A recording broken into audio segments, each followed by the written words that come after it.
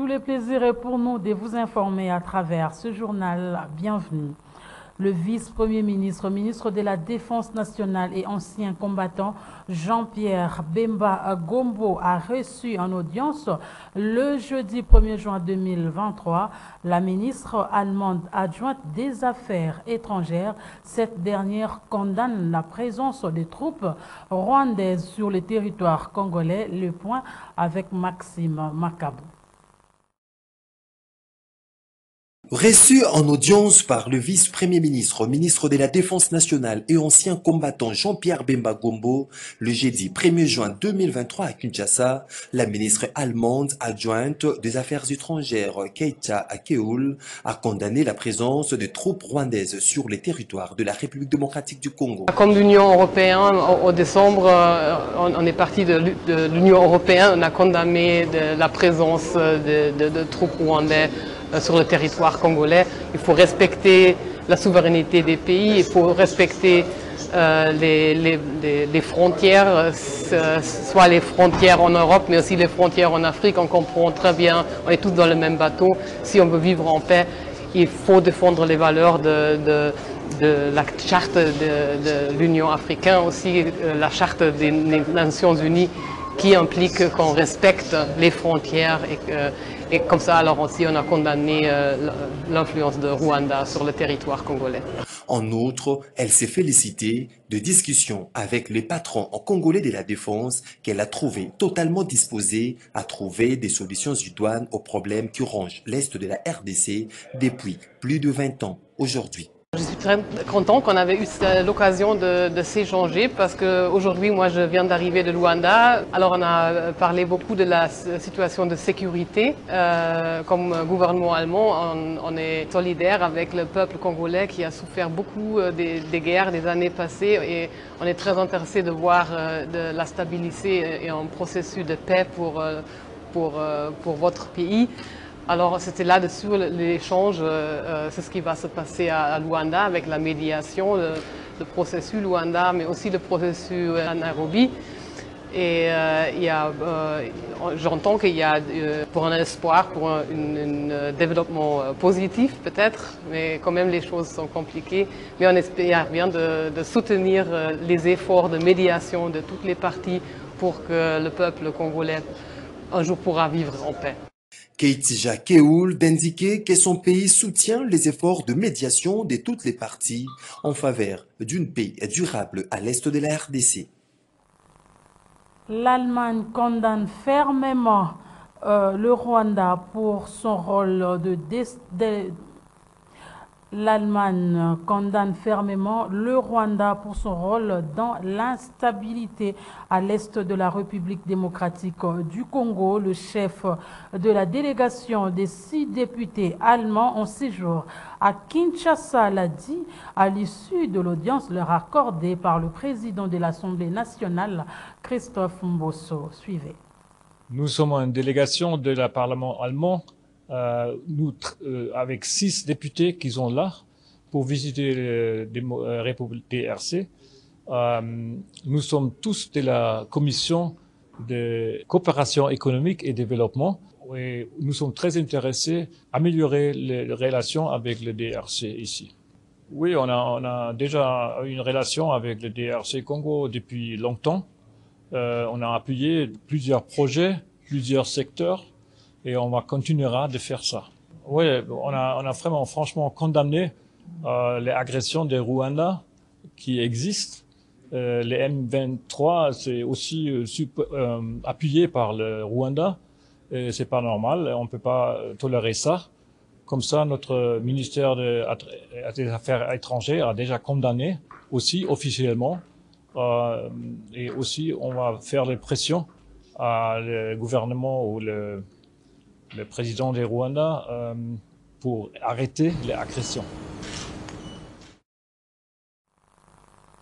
Direction Ituri, le groupe armé doivent être cette fois-ci sincères en respectant les engagements repris dans le communiqué final du dialogue d'Arou. Ce vœu est de Dieudonné Lossa, coordonnateur provincial de la société civile Force Vive de l'Ituri, euh, formulé après la clôture du dialogue intergroupe armé jeudi 1er juin. Plus de détails avec notre correspondant sur place.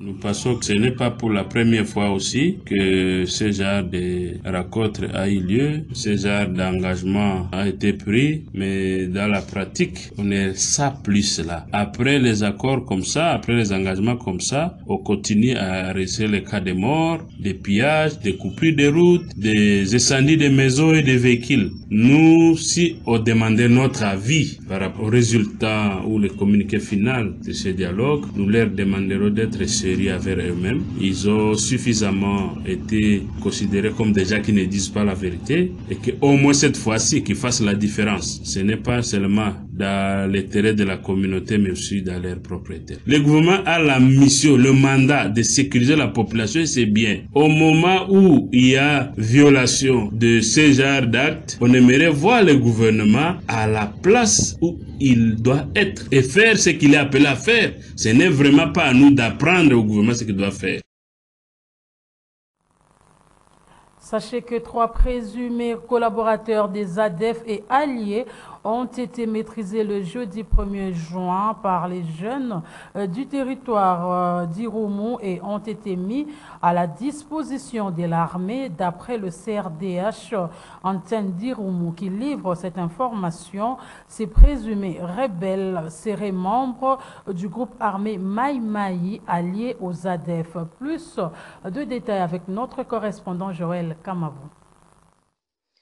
Trois collaborateurs d'une coalition ADF et Maïmaï basée à l'ouest du village Luna Samboko, précisément à Hôtel Bega, ont été arrêtés par une équipe de la population euh, ce jeudi 1er juin 2023. Et ces trois collaborateurs ont été arrêtés avec des armes AK-47 et munitions. Ils ont été remis au commandant des FRDC basé à Samboko Chani Chani. Et nous, comme population civile, ainsi que la coordination de la CRDH, félicitons la vigilance de ces jeunes qui ont réussi à mettre la main sur ses collaborateurs ADF. Nous voulons voir le commandant des FRDC basé à Sambuko de transférer ces trois collaborateurs ADF à son hiérarchie. Nous ne voulons pas qu'il y ait des arrangements locaux parce que souvent, de tels cas, vous verrez qu'ils peuvent venir avec de l'argent pour vouloir corrompre les commandants. C'est pourquoi nous appelons aussi les commandants de Sambuko de voir comment juste transférer ces trois collaborateurs de ces ADF et devant la cour militaire parce qu'il faudrait que leur cas soit aussi statué et qu'on puisse établir leur culpabilité. Nous appelons aussi à la population tout entière et surtout à la jeunesse de Owicha, Maimoya, Eringeti, Luna, que vous avez été trompé par un mouvement ADF qui s'est fait passer au Maïmaï. Oui, il y a un ancien collaborateur de Kandenga venu de Kasoko à Otomaber. L'histoire doit nous éclairer tous, car sont eux qui ont conduit euh, ces ADF euh, jusqu'à Otomaber. Et voilà que le village d'Otomaber, Ndimo, Apende, et sont restés déserts. Suite à l'entrée de ces Maïmaï Kandenga qui conduisait ces ADF. Et voilà un certain Roger qui conduit encore ces ADF vers Hôtel Bega et sont installés là-bas et sont en train de tuer les populations civiles. Et nous signalons que leur base est installée à Hôtel Bega, Ichilemba, Petineko et sont auteurs des massacres des civils de Maleki, Kitevia, au nord Kivu et d'autres massacres qui se font passer dans le territoire d'Irumu précisément dans les villages de Luna Samboko, voire aussi vers les forêts de Mambelenga.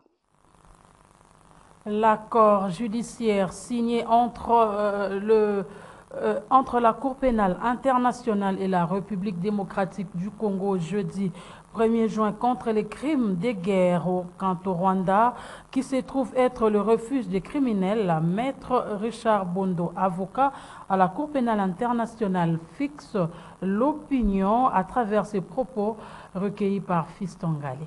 Le Rwanda a déjà livré un Taganda Bosco pour des crimes commis chez nous. Euh, ce qui veut dire que ces ressortissants, de la même euh, manière qu'il l'a fait pour euh, Taganda, ces ressortissants, disais-je, devraient subir le même sort, qui sont membres du, du M23. Au cas où ils se réfugient euh, au Rwanda, le Rwanda n'hésiterait pas à les livrer parce que ce ne serait pas la première fois pour euh, ce pays qui a déjà mis à la disposition de la Cour pénale le, prévenu euh, Bosco Ntaganda. Du moment que l'un de ces suspects se trouverait sur euh, le territoire d'un pays, d'un État parti au traité de Rome, il pourrait toujours être pris. C'est-à-dire, ce sont des crimes imprescriptibles. Ces gens, ils peuvent euh, se cacher, ils peuvent fuir, ils peuvent être même protégés, mais à un moment donné de l'histoire, s'il y a changement au Rwanda, les nouveaux dirigeants, ils peuvent euh, les livrer. Et s'ils sont sur notre territoire, nous pouvons les arrêter et les livrer nous-mêmes. Euh, ce n'est pas.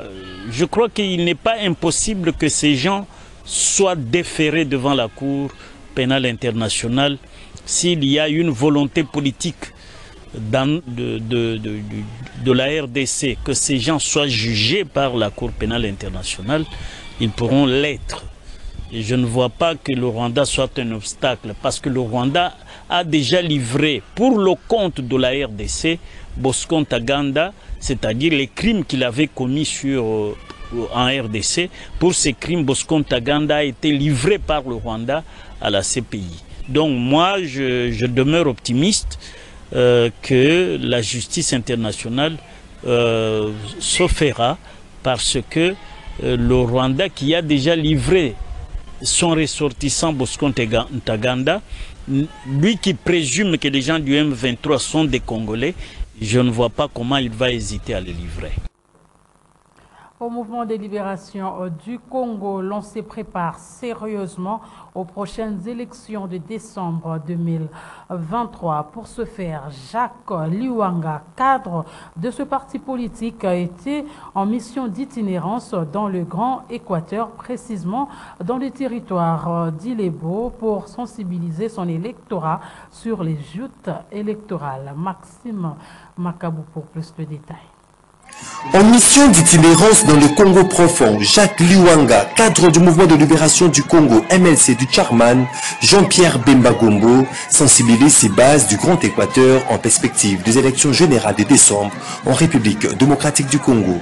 La première étape de cette tournée d'itinérance, les territoires de Lukolela. Ici, ces dignes fils du terroir, Jacques Liwanga, étaient respectivement à Lusakuni, Pama, Banuno, Bambou, où l'ensemble de la population était sensibilisée sur le procès électoral, Jacques Luwanga en a profité pour annoncer à sa base sa candidature à la législative nationale. Dès là, Jacques Luwanga a pris la direction d'Illebo. Ici, il a bénéficié d'un accueil sans précédent. Cet homme du peuple a eu des mots justes devant le membre de toutes les couches sociales d'Illebo, jeunes et vieux, a opéré un choix judiciaire lors des élections car le développement de leur contrée en dépend.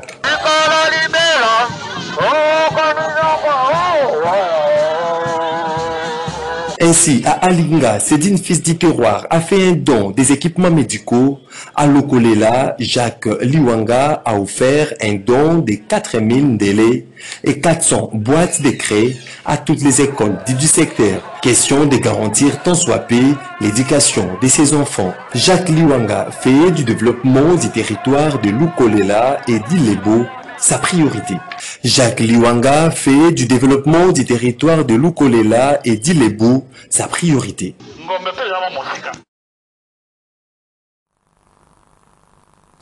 Dans le reste de l'actualité, clôture ce vendredi 2 juin 2023 des épreuves de l'examen national de fin d'études primaires, l'ENAFEP. Nos reporters ont sillonné quelques centres à Kinshasa, notamment l'école Saint-Jean-Baptiste de la commune de Bumbu. Dorcas Nzouzi nous fait ses constats. Débuté le jeudi 1er juin 2023 sur toute l'étendue du territoire national. C'est ce vendredi 2 juin que le bleu-blanc de l'école primaire ont clôturé dans un climat serein les examens de fin d'études primaires ENAFEP édition 2023 à Kinshasa, au centre du collège Saint-Jean-Baptiste, situé dans la commune de Bumbu. Ces élèves finalistes se réjouissent du déroulement de ces différentes épreuves et qui leur assurent la réussite, déclare-t-il.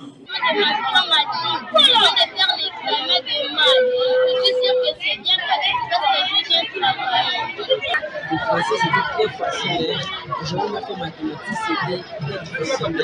À la grâce de Dieu, on a fait, on a calculé, même si on n'a pas 50 mais on a 46 à l'école aussi.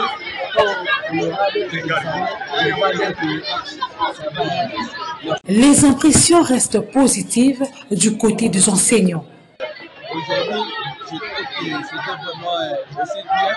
Parce que hier, les élèves ont dit que les élèves, euh, les élèves ont parlé de les examens, c'était facile.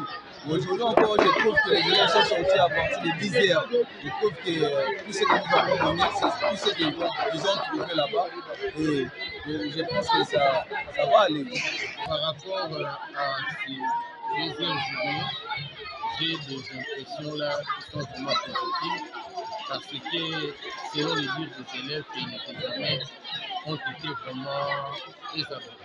Notez qu'au total, 2119 100 élèves finalistes ont pris part à ces épreuves sur l'ensemble du territoire national. Lancement officiel ce vendredi 3 juin du plan d'accélération de la prise en charge du chez l'enfant et l'adolescent 2023-2027, une activité organisée avec l'appui de l'UNICEF dans le but d'éliminer le sida pédiatrique comme problème de santé publique d'ici 2030. La salle, l'hôtel plutôt, Africana Palace dans la commune de Lingwala a servi de cadre à ce lancement. Nancy Ilek. Les autres vous voyez, c'est des choses vous c'est en vue d'éliminer le sida pédiatrique comme problème de santé publique d'ici 2030 que le programme national de lutte contre le VIH-Sida et les IST, PNLS, a procédé ce vendredi au lancement du plan d'accélération de la prise en charge du VIH chez l'enfant et l'adolescent 2023-2027. C'est là avec l'appui de l'UNICEF. En 2015, l'enquête CITAN a identifié les grands défis dans la prise en charge pédiatrique, notamment le faible dépistage des enfants évalué à 25%, la faible capacité d'initiation des ARV pédiatriques évaluée à 25%, ainsi que la rupture de stock des ARV pédiatriques qui équivaut à 32,7%. Freddy Saloumou, médecin section santé VIH à l'UNICEF, parle des priorités de cet organisme international dans la prise en charge pédiatrique. Comme vous le savez, euh, au niveau des Nations Unies, le mandat de l'enfant par rapport au VIH pédiatrique, mandat de l'UNICEF. Et nous sommes euh, très intéressés pour ce qui est de la qualité de vie des enfants. Et en RDC, euh, le VIH pédiatrique constitue un problème. Et nous, nous avons le rôle d'accompagner le gouvernement à travers les branches contre le PNLS pour essayer d'améliorer cette tendance qui est vers le bas et essayer aussi d'apporter tout ce qui est intervention et appui stratégique, élaboration des documents normatifs, actuellement des mises en œuvre pour que l'enfant soit bien pris en charge par rapport à cette problématique du VIH. Dr Aimé Mboyo, directeur du PNLS, explique le contenu de ce document. Euh, mais disons que le pays dispose d'un plan stratégique national de riposte au VIH, mais à côté de ce plan stratégique, il y a des domaines d'intervention qui sont très critiques pour soutenir euh, la lutte contre le VIH. Et parmi ce, ce domaine stratégique, il y a notamment la prise en charge de l'infection à VIH chez l'enfant et l'adolescent. Voilà pourquoi le programme a fait donc la revue de son dernier plan et l'a actualisé pour pouvoir accélérer davantage la prise en charge de l'infection à VIH chez l'enfant et l'adolescent. Il faut noter que cette activité vise à réduire sensiblement le taux élevé des enfants séropositifs en République démocratique du Congo. Notez que l'Union nationale des caméramens du Congo, l'UNCC, a un nouveau bureau issu de l'Assemblée générale extraordinaire convoquée par Jires Kelani, son président national. Autre détail avec Nancy Ileka et Georges Libengue. Une assemblée générale extraordinaire a été organisée à l'intention des caméramens professionnels regroupés au sein de l'Union nationale des caméramens du Congo, UNCC, sur initiative de Jires Ntskelani, président national de cette organisation. À cette occasion, il était aussi question de présenter à l'assistance les membres qui composent le nouveau bureau réaménagé qui sera présidé désormais par Jires Nkelani. Roger Dieye, le premier vice-président, Glody Matuta, deuxième vice-président, président Alpha Olenga est nommé secrétaire général et sera secondé de Timothée Mpiambula. Junior Mokonzo en est le trésorier et sera secondé par Brigitte Tumba. Le poste de commissaire à la relation publique a été confié à Olivier Mbiye. Précieux Manzongoy joue le rôle de rapporteur, Cédric Mbangu, rapporteur adjoint, Seyambavu est le commissaire au social et organisation, ainsi que Blaise Mwangi, commissaire aux comptes. L'objectif de cette réunion d'Assemblée générale extraordinaire aujourd'hui était la présentation du bureau définitif. Ce bureau définitif, qui est dirigé par le président Jires Kelani, a un mandat dûment lié et donné par l'Assemblée générale, un mandat quinquennal, c'est-à-dire un mandat de 5 ans. Et ce bureau définitif a plusieurs missions à savoir euh, préparer la sortie officielle qui aura lieu incessamment, euh, un séminaire national de renforcement des capacités et au fil du temps, nous allons pouvoir organiser les, élections proprement dites. Prenons la parole. Jires Nkelani, président de l'UNCC, a remercié les membres de cette association pour leur participation massive tout en insistant sur l'amour et l'unité qui doivent les caractériser. En société, un incendie s'est déclaré ce vendredi 2 juin dans la matinée au centre commercial non loin du rond-point Sakombi dans la commune de Ngaliema. Sept maisons commerciales et une grande quantité de marchandises sont parties en feu. Dorcas Ndouzi nous dit plus dans ce reportage. C'est à 7 heures du matin de ce vendredi 2 juin 2023 que cet incendie s'est déclaré dans ce petit centre commercial non loin du rond-point Sakombi dans la commune d'Engaliema. Une mauvaise manipulation de feu par une vendeuse de beignets à proximité d'un stock d'essence serait à la base de cet incendie.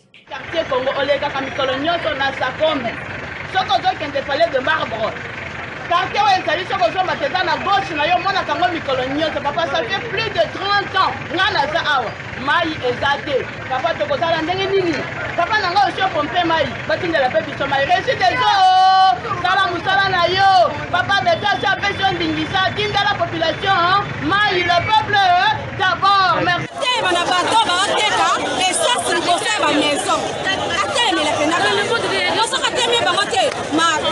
Les bilans fait état de cette maison commerciale et une grande quantité de marchandises brûlées. Il a fallu l'intervention de camions anti-incendie pour maîtriser le feu. Ce journal est terminé, mesdames et messieurs. Merci à vous de nous avoir reçus chez vous. Merci également à l'équipe technique. Merci à Moron Njambe, à Olivier Longwango et à Dieu merci Kifwa. Quant à moi, je vous retrouve demain à la même heure et avec le même plaisir.